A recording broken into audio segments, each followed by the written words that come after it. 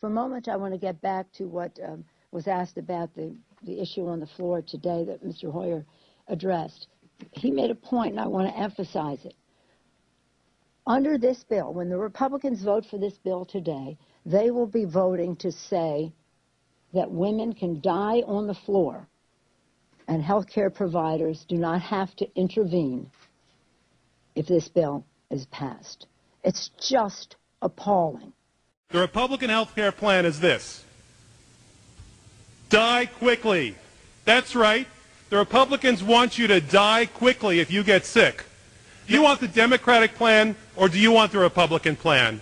Remember, the Republican plan, don't get sick. And if you do get sick, die quickly. Thank you.